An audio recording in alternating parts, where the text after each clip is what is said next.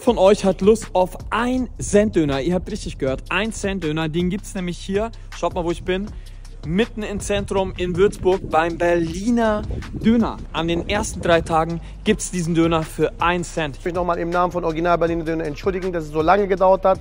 Es war von uns nicht gewollt. Es wurden uns sehr, sehr viele Steine in den Weg gelegt. Sei es die, sei es die Bauarbeiter, sei es die Lüftungsbauer. Und ja, wir haben es aber endlich geschafft und wir machen jetzt auf jeden Fall auf. Kommt vorbei.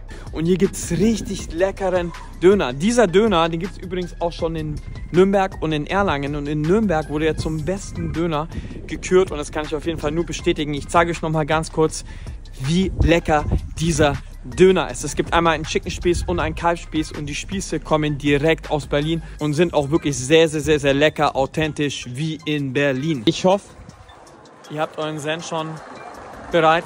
Wir sehen uns in der Eröffnung. Ein Cent Döner für die ersten drei Tage hier in